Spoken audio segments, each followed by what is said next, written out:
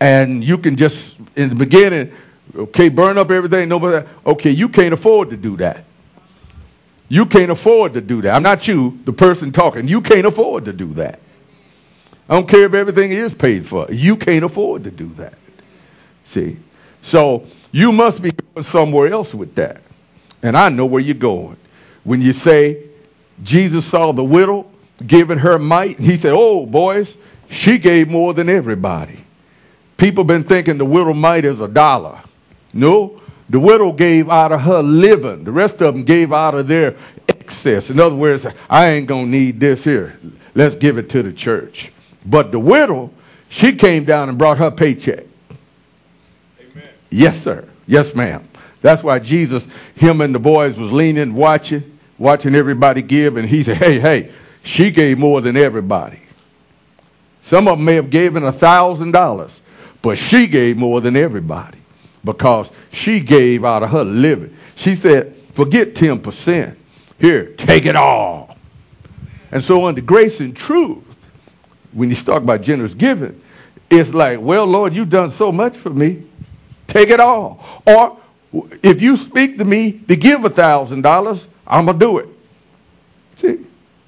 So I'm saying before we all people rejoice and we's free and master and let us go, y'all better be careful because you'll be right back in debt.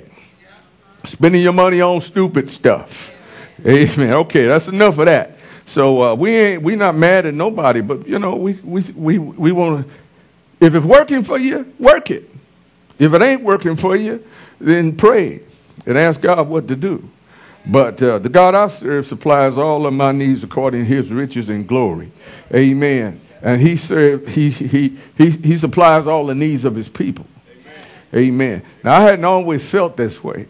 Took me a long time, you know, to, to believe that uh, it, what I had uh, belonged to God. But see, the 90% don't belong to you either. And that's where we've been, we'd have made our mistake. So it ain't like forget the 10%, let's go put that on something else. No, no, ma'am, no, sir. We haven't told you enough that the 90% is his too. Amen. And you can't say that he's your Lord and he speak to you about the 90% and you, hey, man, get out of here. I gave you 10%. Leave me alone. Spirit. He'd be like, whoa, wait a minute now. Yeah. Yeah. It all belongs to him. Amen. Are you with me? Amen. So that's to all my friends who may have getting overly excited. Uh, not, you got to listen to sometime a message develop. Yeah. Amen. So God love you in Jesus' name. Let's pray. Let's move on in the word. Praise God. Hallelujah. God is so good. Brother, would you give me that cord and cut that, that TV on real quick? I think I'm going to show something that was sent to me first. Amen. How many love Jesus? Amen. Well, I hope you do. Praise God. Amen. Oh, shoot. I, got, I left my other cord and everything. Mm. I mean, my thing is in my bag, but that's okay. Praise God. Those of you who may be watching us, amen, a big God bless you to you. Amen. We thank you for watching uh, this broadcast, watching the Shepherd's Fold Ministries. Amen. Here, and we, uh, we appreciate, amen, your attention to the Word of God in this house. Amen. All right. I was going to show you something that uh, was sent to me, but I didn't get my setup. And so I'll just tell you. It was Marvin Winans. You can look it up yourself, you YouTubers. And it's don't take it personal.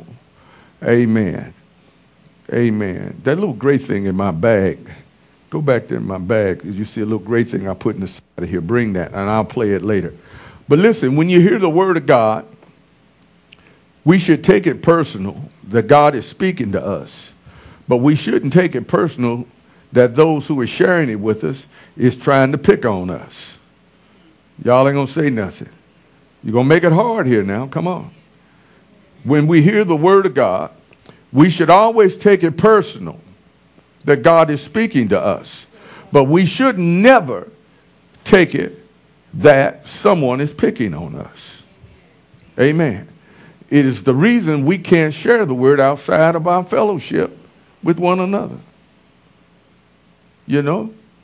Are y'all with me here? Amen. So praise the Lord. Let's go to the book of Numbers, chapter 16. Because the earth is the Lord's and the fullness thereof. Y'all believe that? You do? Well, he, he owns everything. And we are his people. And God is coming back for a people without spot, blemish, or wrinkle, or any such thing. How many believe that? Amen. He's not coming back for church buildings.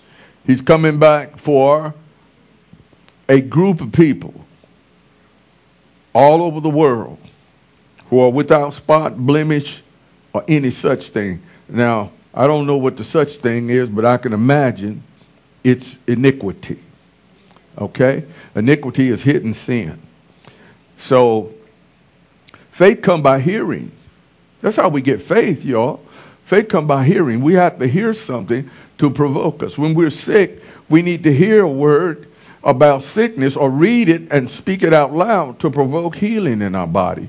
When we're when we're weary, we need to read. Faith come by hearing and hearing by the word of God. See, you don't get faith just by going to church. Hello. Just like it was preached about tithes, I could start. No, it's a little slender thing. It, it should be, it's in there. It's a little slender deal to go on the side. It's silver. Uh, I could say the same thing. You don't have to come to church. You don't need to come to church. And a lot of people, they think that's working for them. But see, the enemy is always after your dedications. Come on now, talk back to me. The enemy wants your dedication. You are Samson. Samson ain't just one person with long hair. You are. Thank you, sir. Here, hit the hit the hit the wire in the TV. I mean the TV for me. Amen. You are Samson. Look at somebody and say, I'm Samson. Yeah, you are Samson. That means that you somewhere, you have to have made a, made a dedication before God, or, uh, or you, you could have no fellowship with God. Can you say amen? amen? You have to have made a dedication with the Lord, or you could have had no, you could have no fellowship with the Lord. Amen. amen.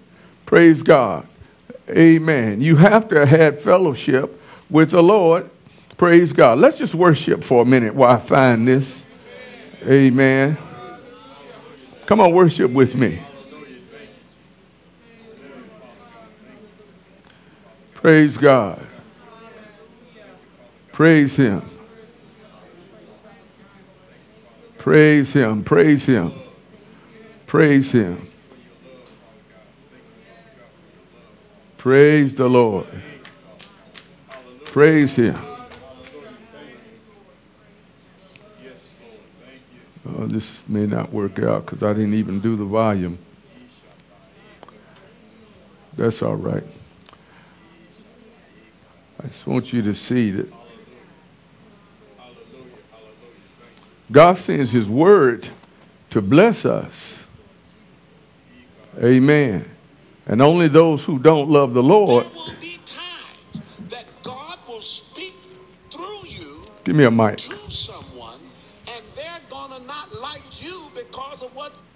Praise God. I'll try to make it bigger. Hold on here. Give me a mic. This is worth hearing. Praise God. Praise Him. Can you say praise the Lord with me? Send it to Him. Okay. I'm sorry, brother. I should have done that. Let's praise the Lord. Come on. We're at home. Don't mind anything else. We're at home. Come on, praise the Lord. Come on, praise Him with me. Praise Him with me. Praise Him with me. Praise Him. Praise Him. Praise Him. Come on, praise the Lord with me. Open your mouth and say thank you. Stop being afraid. Stop being afraid. Open your mouth and say thank you. Hallelujah. Stop holding back. Open your mouth and say, Thank you, Jesus. Praise God. Praise Him. Praise Him. Come on, praise Him. Praise Him. Let's praise Him while brother find that, pull that up for us. Amen. We got to change our attitude toward God and His Word, toward this life. Come on. Praise Him. Amen. Come on, praise Him. Say thank you, Jesus. Amen. You're kept by His Word. You're built up by His Word. You got to love the Word. You got to love the good. It's all good, but you got to love the part that's easy, and you got to love the part that's not easy. Come on. This stuff done been tried by fire. Hallelujah. All right, while he gets that, and we'll let him interrupt me when he when he gets it. Let's go to Numbers chapter 16. Amen. Numbers chapter there 16. will be times All right. that God will speak through you to someone, and they're gonna not like you because of what God told you to say. My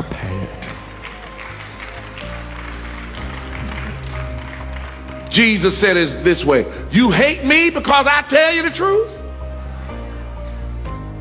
I cannot stop telling you the truth because I get some dislikes on Facebook. Can't stop telling you the truth. One lady wrote on there and said, Haven't we canceled Marvin Winans? I can't take that personal because I didn't call myself to preach.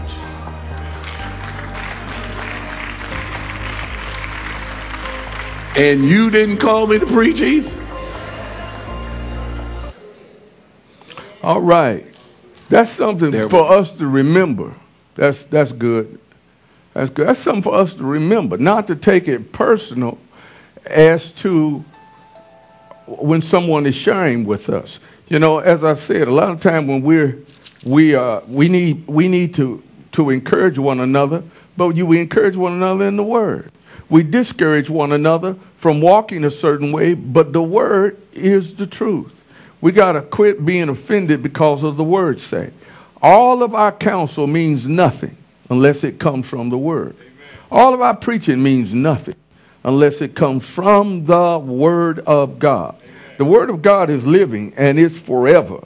Amen. And uh, we got to we've got to give God freedom to speak through the man of God, the woman of God. We've got to give him freedom to do so. We cannot say, I don't want to hear you because you know something about my problem and you preach my problem in church. You better get away from that because that's pride. Amen. You ain't the only one got a problem. Amen. And it ain't all about you. There's people watching that have problems. There are evil spirits of lust. So if we talk about lust in this big old house or small house, however you want to look, do you think you're the only one dealing with lust in America, in Africa, in China, in Europe? So you can't take it personal that you, you just repent, change. Prostitution. Prostitution is going on in America. I misspelled that word. Prostitution is going on.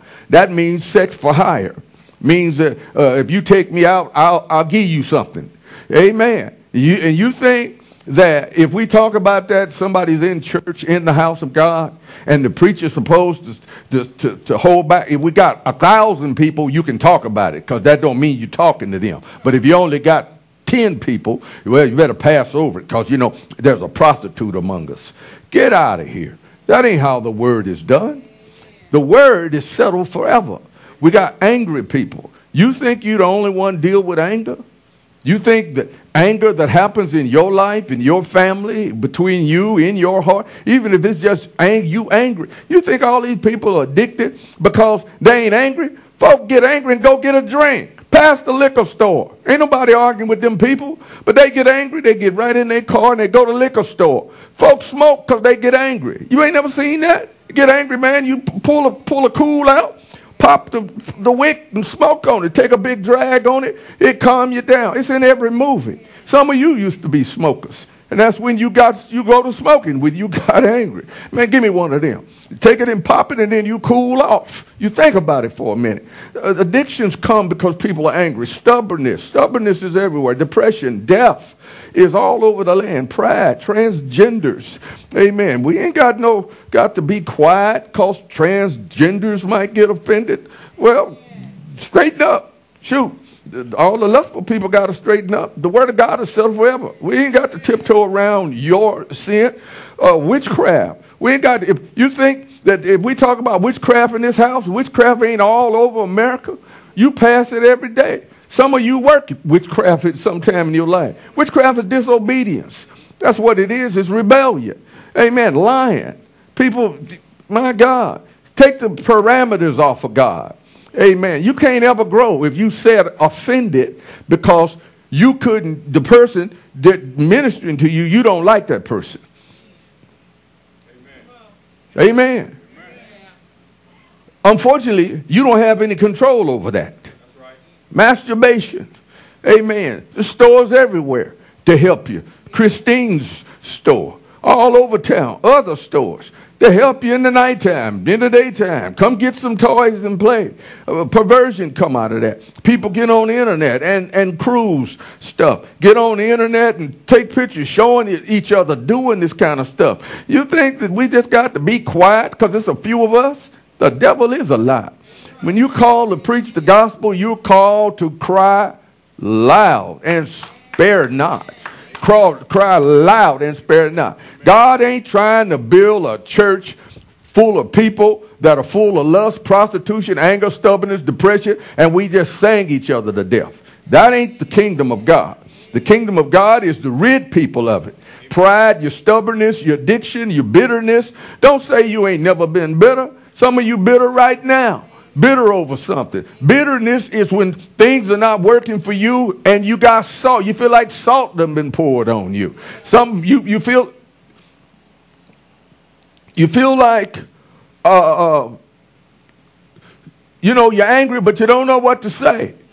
Praise God. Jealousy happens everywhere. We preach about jealousy and envy.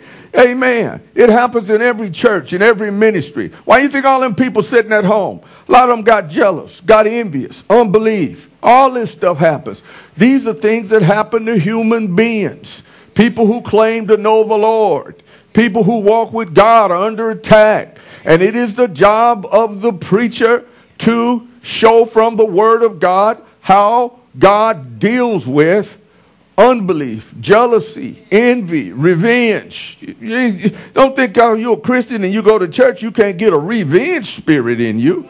A spirit that you say, okay, I'm going to do this, I ain't going to do that. I know what I'll do. I'll show them, da da da da da da. You can get a revenge spirit in you. You may, may, not, may not do it like what we call the world or secular people do it, go get a knife and shank somebody, but you, you can get that. You, that can touch you. So we've got to get out of the place that we feel like that somebody's preaching at us. That's why people are sitting at home. I don't want to go. I want to just hear how good God is. Well, let me tell you how good He is. He's good enough to point out what's wrong with us so that on that day when that trumpet sounds, we will be ready. That's how good He is. He's good enough to wash us with water by the word.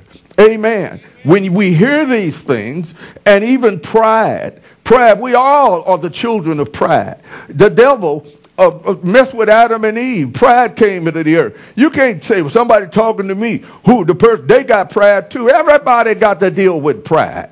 You got to deal with pride just to be on time on your job. You got to deal with pride just to do what they ask you to do. You know how many times have you been in the break room with the rest of them, tearing up the supervisor, talking about that? Hey, them white folks over there. If you're black, the black folks, them black people don't do. You know, pride.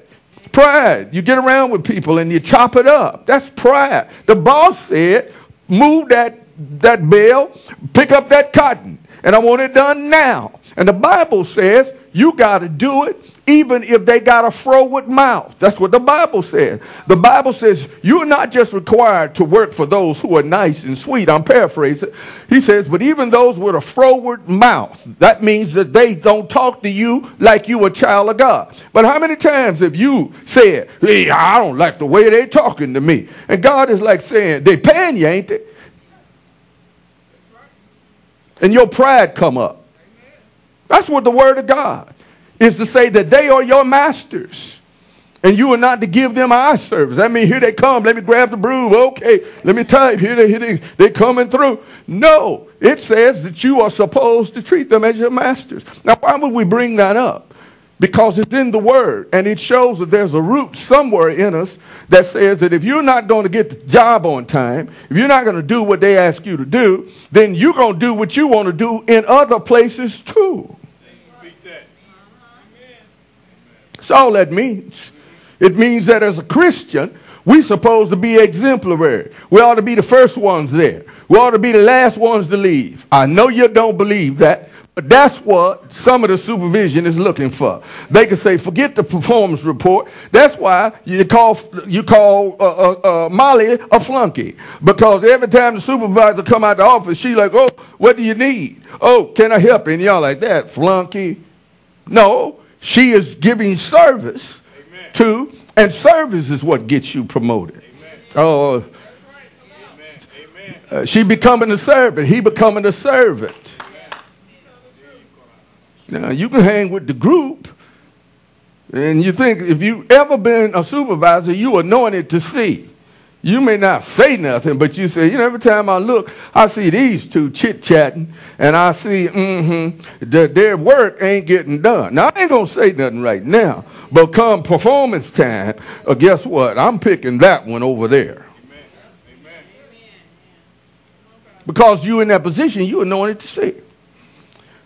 People deal with loneliness, fear, and murders in the land. My God, people getting shot, going to, to, a, to the, to the, rodeo, not the rodeo, to the parade, to the parade, to the parade. Could happen in any city. So the Word of God is not so that everybody can feel comfortable. The Word of God is to expose where the enemy, the adversary, is working so that we can drive him far out away. That's what shepherding is all about. That's why he calls us overseers. Somebody say, You act like it's your church. No, it's God's church, but it is the shepherd's job to oversee. And oversee means to supervise. That's why people are sitting at home. They don't want to be overseen. I mean, you call it what you want. They don't like the church. They don't like the preacher. They don't like somebody in the church. But the real problem is, and I'm not kicking at you, I'm just going to tell you the truth. We ain't got but a little time together. They don't want to be overseen. Hebrews 13 says that there's somebody that have to give an account for you. Amen. That's right. That means you have to humble yourself. That's God's system. And guess what? There ain't nobody want to give an account for another human being. Not even the ones that you married to.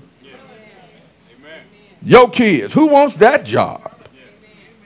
So anybody that God an overseer job and they tripping cause uh, on something cause they get to say say say it come to them first they got to walk the line Amen. Right. and god can't use no coward soldier they used to sing that back when i was coming up now he used all kinds of cowards god got all kinds of people and some of us some of us in the world don't need no more sugar right. we need truth and we need somebody ain't scared. Their reputation is on the line, and they ain't about how many people they can get to their church. Because if you want to do that, you can do a whole lot of stuff. Monkey shine. But when you know you got to stand before God one day, you will be a witness for him. And that ain't just for the preacher, that's for everybody. I got to do this because I do know I will stand before him one day and give an account of what I've done in this body. He ain't going to let me Amen. know what I know and just sit around. That's right. Amen. Amen. Amen. Do you hear me? And you ought to be glad somebody loved you enough and loved God enough when you find them kind of people, whether they're in your family, that'll tell you. Because hirelings won't tell you. They're like, keep doing that, Brother Bill. Yeah, God understand. And when the day of reckoning comes, God won't understand. Because we, we're called to warn. Let's look at the Bible in the book of Numbers. Amen. Now, this scripture is in the Word of God, and if it's in the Word of God, it's relevant. Amen. Amen.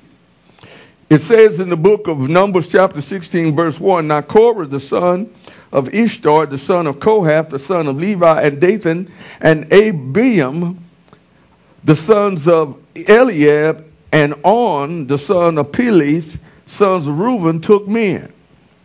And they rose up before Moses with certain of the children of Israel, 250 princes of the assembly, famous, say famous in the congregation of men of renown. And they gathered themselves together against Moses and against Aaron and said unto them, You take too much upon you, seeing all the congregation are holy, every one of them, and the Lord is among them. Wherefore then lift ye up yourselves above the congregation of the Lord. Now here's what's going on. We've got people who have given up on God and the kingdom of God and the church of God. And we have people that are in the church of God that they, they get affected by Korah, by Dathan, and by Abiram. And here's, here's what they do. They find those who are princes or famous in the congregation. You find people who say they know God. They could be sitting at home getting all they got on YouTube. And you find them people, and you let those people tell you that the men of God, Moses and Aaron, that God's order, they take too much up on themselves because everybody